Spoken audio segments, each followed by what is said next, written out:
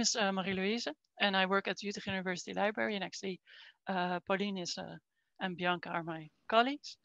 Um, and um, while they are more focused on the open access part, uh, I uh, try to advise uh, everyone at UMCU about research data management. and I will give this presentation together with Nico. and Nico is working for the DIT, uh, and he's basically uh, working on data technology to make your life easier at the UMCU uh, when uh, trying to make your data fair. Um, and today we'll discuss a little bit um, about what we are doing uh, to promote open science and to make it easier for you to publish your data in a fair and uh, in a fair way in your software as well. And uh, to do so, the first step is always to ask you guys what you need. So at the moment, as we're uh, uh, as, at this point in time, uh, there is a survey that should be in your email inbox about the needs uh, you may have to uh, publish your data. and the deadline is tomorrow. So you still have time to fill it in after this presentation, of course, but we will use this information to work on our uh, guidelines and uh, and how to reach out to you, how to make your data fair. Um, Next to that, there's also many trainings. Uh, one of the trainings is for new uh, researchers, or if you feel new in the field of uh, research data management. there's one on June 17, and we still have places left. So I would like to tell you, all of you, please sign up for that. There are many more trainings also at the UU, but we'll discuss them uh, later. Um, so if we're talking about open science, uh, the open science program at the UU, uh, there are many uh, points. For example, we just talked about open access, uh, and but there's also uh, the public engagement, which has been mentioned before, and fair data and software to move to the future for science for a better world, the world of open science. Um, and fair data and software is a big part of that. Uh, so um, therefore, we'd like to remind you to take care of your data to make it fair. And what does that mean? Uh, if you didn't know yet, uh, fair means that uh, you make it findable, so everyone can actually find your data set uh, or your stuff or your scripts. Uh, if they find it, that they know how to access it. And then if they are able to access it, that they can actually use it with any program. So uh, thinking about file formats. Uh, and then as soon as they are open, able to open it, they should be, know if they can reuse it uh, based on licenses, but also um, based on, for example, a lab journal that has been attached to it or other documents that tell them how the data has been uh, retrieved. Um, and I would like to focus on the first part, findability, and then Nico will continue with the rest of them. So how to make your data findable. Well, the first step is to publish your data in a data repository. And there are many data repositories um, to put your data on the World Wide Web. Uh, there's even an, uh, a registry of research data repository, re3data.org, uh, if you're looking for a specific uh, data repository. And you may have heard of uh, Figshare or Dryad or Zenodo to publish your data, which are more general data repositories. And these general, general data repositories, uh, what they have in common is that they uh, provide you with a persistent identifier, just like with your publications. Um, if you have a persistent identifier, if someone clicks on that, they will always go to the same place and they can find your data there. Um, at the UU, uh, and also for research from the UMCU, uh, there's a possibility to also use the data repository DataverseNL. And the nice thing about DataverseNL is it doesn't only have a persistent identifier, uh, but if you uh, use, for example, and I think Nico has to click for me one more time, uh, Google, uh, and one more time, yeah, if you use, for example, Google or Google Data Search, uh, then, or you use Mendeley data, or you use dimensions, that you will find data your data. So it is very findable. So in all different varieties of places where people would actually look for data, they're able to find your data on DataverseNL. Uh, and uh, if you go to the next one, you see an example in DataverseNL of a very fair data set. So this next slide. Uh, this is uh, from a, a, colleague of mine from the proactive cohort study. Uh, and you see uh, that with a data set, you can uh, provide with a description. You can add keywords, just like with your publications, subject terms. Um, and just like if you're looking for a television on the on Google, you want to buy a television, you Google television, and you Google maybe that you want to have it uh, HD or you want a certain uh, size of your screen. Um, data within, for example, bol.com guides you to the, the, the right place. Uh, if uh, uh, the, the data with a certain television set doesn't mention uh, that it has 4K, then you won't, wouldn't find it with your search. So you need that data, and that is what we call metadata. Um, and the metadata from Dataverse is very uh, easy to fill in, and it's also very good so that people are able to find your data set.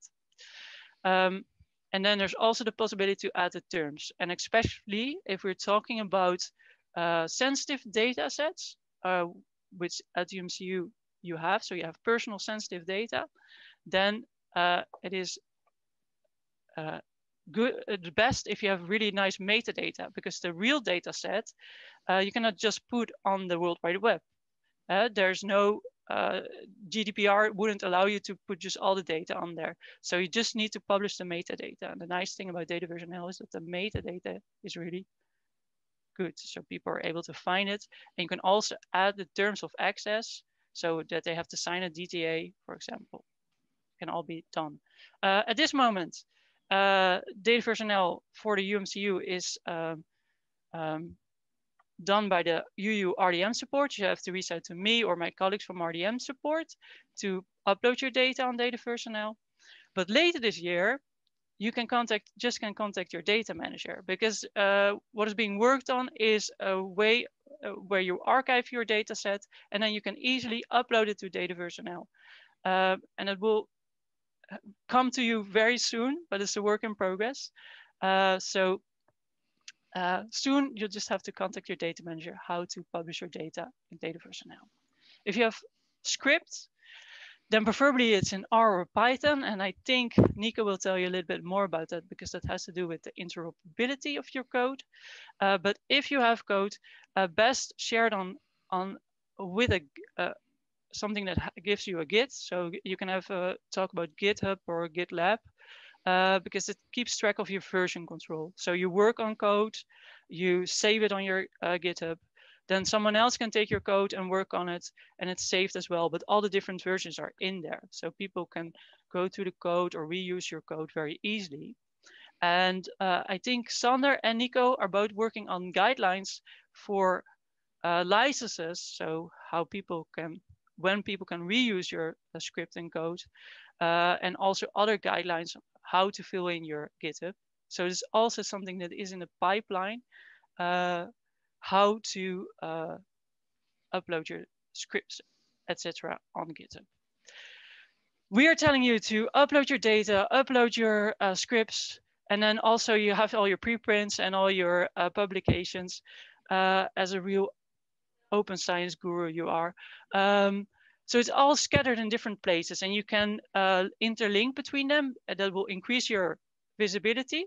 So if you interlink uh, your dataset on Dataverse NL in your GitHub, uh, if someone is going to Google uh, you, then it will end up higher in the hierarchy of Google. Um, but another thing to help you is an ORCID ID. And uh, what it does, it ensures you that all your research output is correctly attributed to you. So people can see in one overview everything that you've been doing. And it only takes two minutes to create.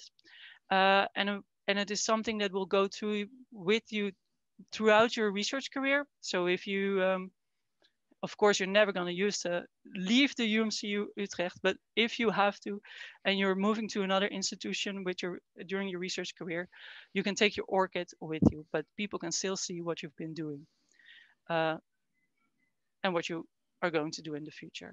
Um, so go to ORCID.org to do that. And then I think from now onwards, I will give the floor to Nico for the rest of the Thanks, Marie-Louise. Um, we'll go to the, the second letter of the FAIR acronym, accessibility.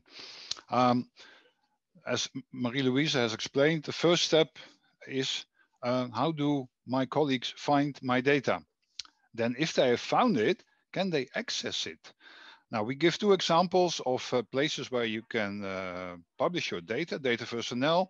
Another one uh, that is very important for genomics research is the European Genome Archive, but there are many more possibilities.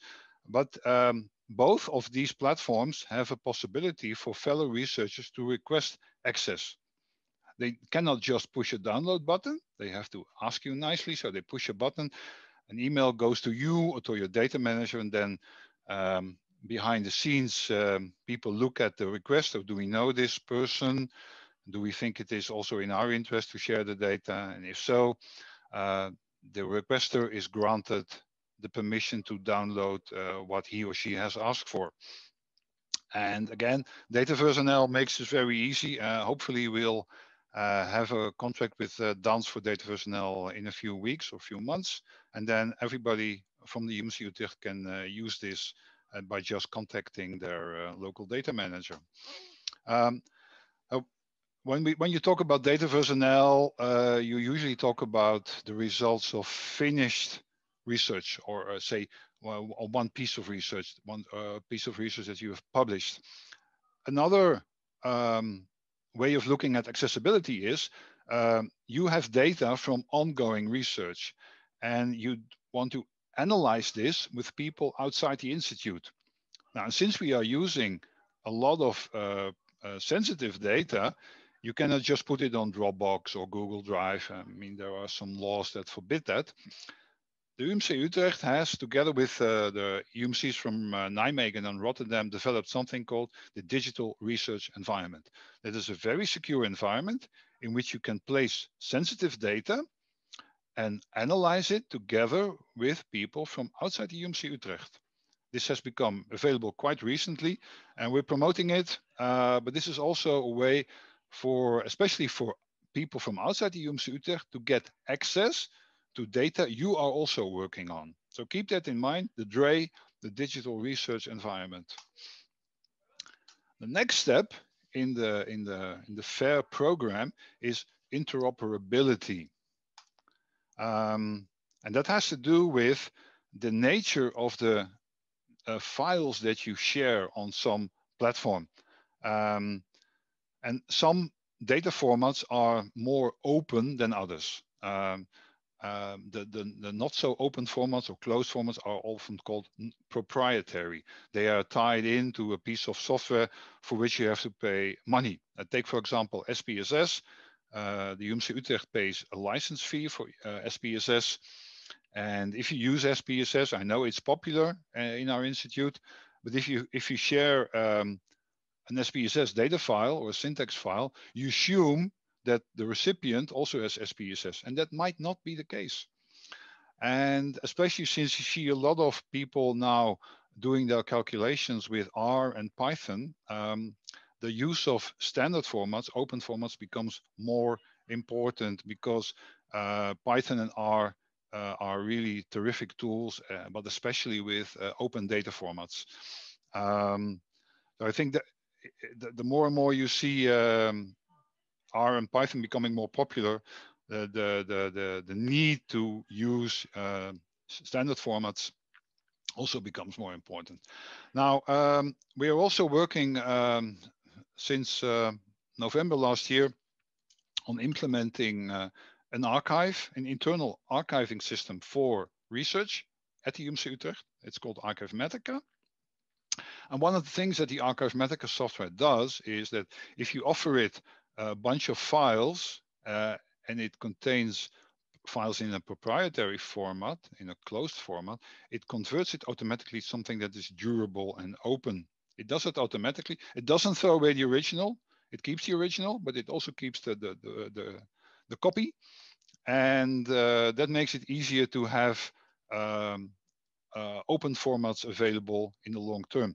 It also does lots of other things, um, extracting metadata, and this also helps um, later on in uh, making uh, data, older data, easier to find, both within the institute, but also outside.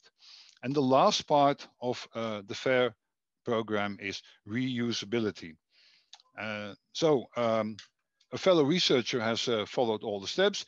Uh, he or she has found your data or software, has gotten access to it, uh, has also confirmed that it is interoperable. It is an, a, a, a, format of file that can be opened by the software the recipient has. Um, but um, can you really reuse it? And that, that has a lot to do with documentation. And not just documentation, but also, um, well, not just documentation of the whole process, but also uh, if you look at a, a data set, um, what does each column mean? Uh, can you uh, explain uh, in, a, in a readable or machine readable way uh, what a particular column means. That means that you also assign metadata to variables or columns. Um, since uh, two years, we are now promoting Castor as the standard data capture tool at the UMC Utrecht. And uh, Castor makes it easier to build data dictionaries in which you describe um, what each variable means, units, uh, you name it. And Castor also makes it easier to use standard forms so that you have better reusability um, across studies. Uh, as I said, and uh, Marie-Louise also said, documentation is crucial. Um, we have uh, uh in, in the lab environments, in the, we have uh, already the, the, uh, the tradition of using lab journals. Um, a very popular one at the moment is eLab Journal. We are currently investigating whether we can make that a standard for the whole UMC Utrecht. What we are also promoting is the idea of the word dry lab journal. I think it's a term that was coined by Sander uh, or one of the data stewards of the division of Gerard. I can't remember, but a dry lab journal is a, a, journal you keep while you are processing data. You're not in the lab itself, you're behind your desk, but document what you do with data. I know from talking to researchers myself that not a lot of them do that, but this is a, a, a way of working that we are trying to promote. Uh, also keeping codebooks of all your um, data sets. Codebook is also a collection of descriptions of all the variables in a data set. The use of standard vocabularies, say um, SNOMED or ICD-10, all this helps in uh, making your data reusable uh, in the end. And reusability can be, can be within the institute, say um, data that was left by a PhD student five, who left five years ago, but looks interesting. It could be a, a master student who was in your lab uh, last year. Um, uh, the more documentation there is, uh, the better the reusability is. So I think that is the, the crucial point of this slide. Document what you do with your data. If you do that, then other people will benefit and it really becomes reusable at some future point in time. Um, I think we should stop here. Um, if you have questions, you can contact me personally. Um, you can contact Marie-Louise. You can also send an email message to data management at umcutrecht.nl and um, if but the, the main point is if you have a question um, drop us uh, an email and uh, somebody will reply to it